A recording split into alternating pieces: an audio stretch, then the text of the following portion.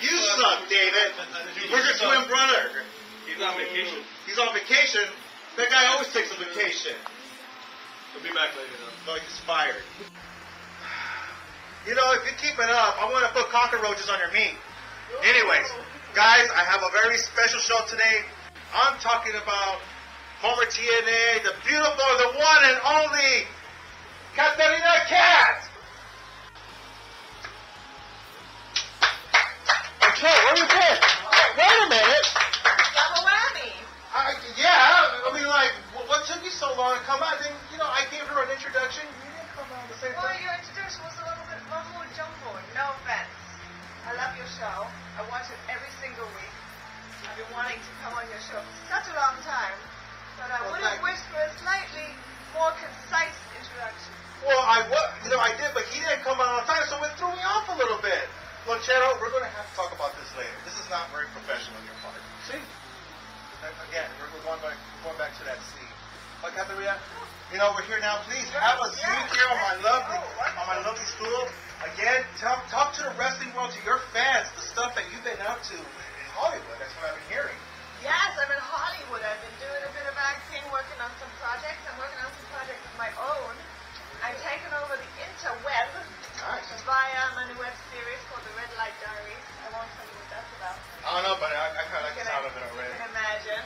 Uh, so we just wrapped on the pilot and we're getting ready to put that out there and then obviously the rest of the season will be shot and we will have the wonderful enjoyment and entertainment for several weeks.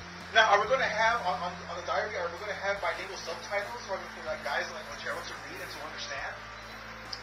It's a good point. I mean, think about it. Right?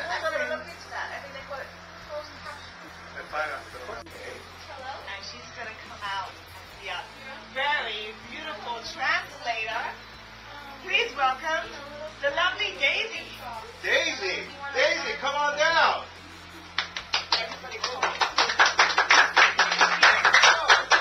Daisy, welcome to the shop. Nice to meet you. Uh, this is Cuidado, no se Montero. lava las manos. Well, What's wrong? I mean, uh, you shake my hand and you act like you got scared. What's going on here? le hagas caso. Anyways, Daisy, can you please translate what David is talking about here? Because, you know, when we ask him something, he saying see, and I know see means yes. But I want him to start learning new words, but thank God. So, okay, can you kind of tell him? From the looks of it, I think some of what he's just said you might not want to hear. But I think he's about to ask me a question. Me quería saber si tenía novio. Have a boyfriend? Certainly not. Oh. So that means, understood that? So, so that means you're available. No para ti, feo. Para mí. No, no, no, she's Está talking to me. She's like, she's got no Dile que está boyfriend. Um,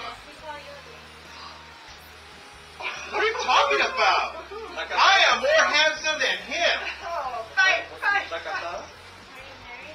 Oh, certainly not. Okay, if you're not married, got no one, so you're on the market.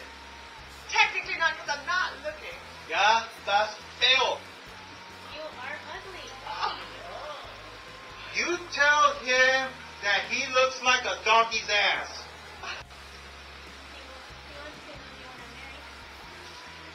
Oh. Oh, I, I am not the marrying. Quieres casar tú? ¿Conmigo? Wait, wait, wait, wait, wait, wait, wait. I heard the sting. You're, I'm a fast learner, folks. You're going to marry him? You find him attractive. Did you- preocupes. Bye. Sorry. Estás guapa, estás guapa, pero. Oh, this is beautiful. Vámonos, vámonos. What is this? The I give you my butcher.com? blessing. Hey, Harmony here now all of a sudden? Tell you what, Kate. I mean, you're you're available. Why don't you know we go back there and I'll I'll show you all my my my meat products that I have back there and and, and I'll gladly to help Your you. meat product? Yes, I have a whole What variety. exactly are you trying to